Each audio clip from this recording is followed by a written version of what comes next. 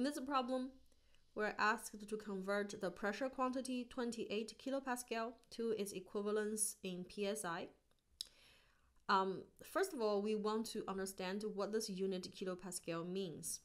So 1 pascal, by definition, is 1 newton per meter squared. So Pascal is the SI unit for pressure. Newton is the SI unit for force. Okay.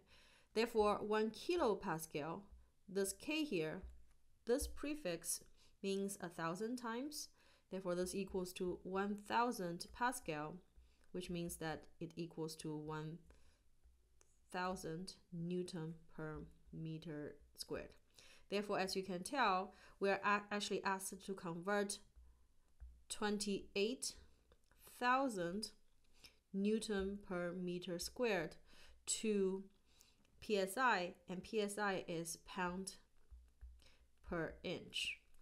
So at this point, I think you might see why I wanted to do this little explanation first, this uh, analysis first, because now we have two units that are comparable. Both units have force on the numerator and area on the denominator. So in order to convert Newton per meter squared to pound per inch squared, we establish the equalities. The relation between Newton and pound is 1 Newton equals to 0 0.2248 pound. That's given here. Okay, and we also know that 1 inch equals to 2.54 inch, uh, sorry, centimeter. And as you can see here, we have meter, therefore we also need to convert between centimeter and meter, and 1 meter equals to 100 centimeter.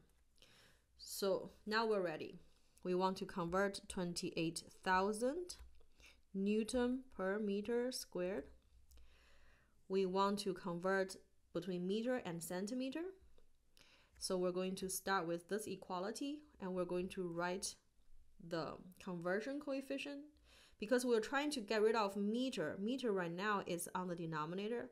Therefore, we're going to write 1 meter is equivalent to 100 centimeter this way so that when meter is on the numerator in our conversion coefficient, there's a chance that we can cancel meter out with this meter on the denominator.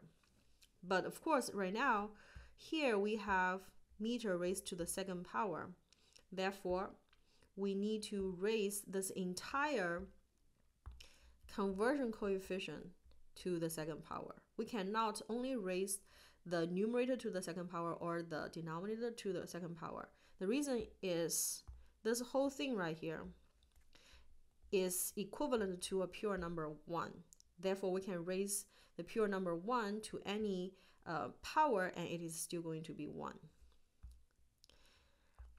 So we are multiplying a coefficient that is pure number 1, therefore we are not changing our original quantity. We're not supposed to change our original quantity. So after this step, we can cancel out the meter, but we still need to convert between centimeter and inch. Therefore, we're going to use this equality. In order to cancel out the centimeter that is on the denominator, we're going to write it this way with centimeter on the numerator. And the same thing, because the centimeter is going to be squared, therefore we are going to do this, raise the entire coefficient to the second power. And then the last thing is to cancel out the Newton right here, which is on the numerator, using this equality. So we're going to write pound on the numerator here and Newton on the denominator so that the Newton and Newton can be cancelled out. So as a result, as you can see, we can cancel out meter squared from here centimeter squared from here. Uh, sorry, not inch, but Newton and Newton here. The remaining unit left will be pound per inch squared. So we collect all the numbers 28,000 times 1 over 100 squared times 2.54 squared times 0, 0.0 sorry 2248